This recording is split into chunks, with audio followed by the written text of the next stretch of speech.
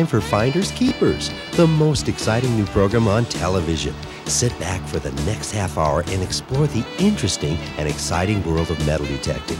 Finders Keepers is brought to you in part by White's Electronics, makers of a complete line of metal detectors for every metal detecting search. Hi, I'm Leo Aranza, and welcome to Finders Keepers.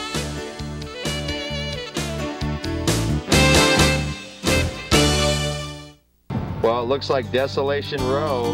Where are we, Leo? Uh, we're in downtown Riverside. We're in an old swimming area. Um, they've pulled out all kinds of coins out of here in the past. Kenny brought me out today to see if I could find something. Uh, we've been hunting here for a little while. And you've already found some coins, haven't you? I have. I found a few wheats and a buffalo. And Kenny, uh, you uh, have uh, found some stuff here, not just today, but some other days, and you brought a little bit to show later. Oh, yeah. All right. Well, let's get to hunting right here on Finders Keepers. Well, Leo, with this uh, empty pool here, what did this used to be? This used to be the old swimming hole where everybody used to come. Probably, we figure back in the 40s and 50s. All right. Now we're gonna see if we can find some more. It's just really tough. There's a lot of iron in the dirt. You gotta dig a lot of it back. So it's messing up with your signals, huh? It is. All right, well, let's get to hunting right here on Finders Keepers. Well, we've never done this place before, and Kenny's been pounding it with a few Yeah, other people. Oh, you got a target already? A target. All right. Well, I'm a little late, but uh, that's okay. They keep getting signals. So that's where it's at. Metal detectorist, this is what you want. An old lot like this, nice soft dirt. Ooh, he's getting a nice signal. Oh, here it is, silver dime. All right, Leo. It's, uh, 1957. Our finders keepers.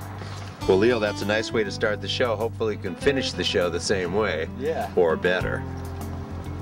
Well, it hasn't been the local swimming hole for a long time, but uh, it's good for metal detectors like us.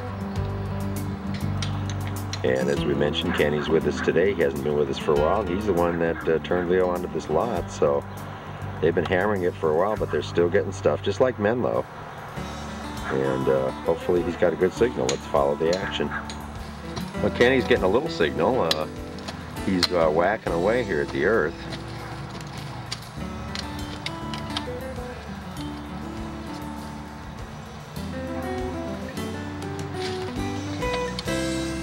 What does it sound like? Probably another wheat back then. Oh, that'd be awesome.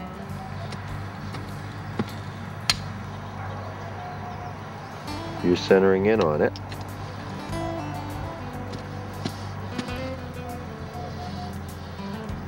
All right.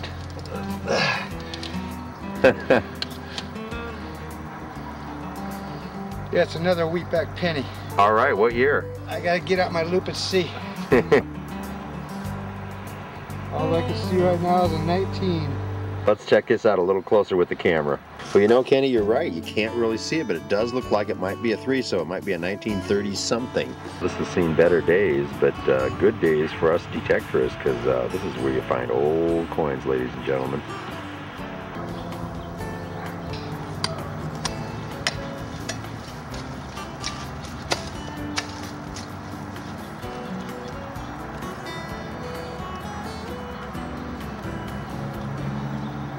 Be another wheat though.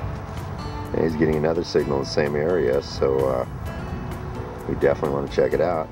Another another wheat. All right. Well, really nice 1954S. Another Wheatie right here at Finders Keepers 2. Yeah, lots of territory to hunt around here, and uh, this is just ideal for what we're looking for. Yeah, Leo's getting another little signal. Hopefully something good, Leo. I can't get to it. The root's blocking it. Uh-oh. I guess you won't get to the root of the matter. Yeah, we're persevering here on Finders Keepers, and if we hear a little signal that's even close to what we want, we will go after it. Especially Leo will.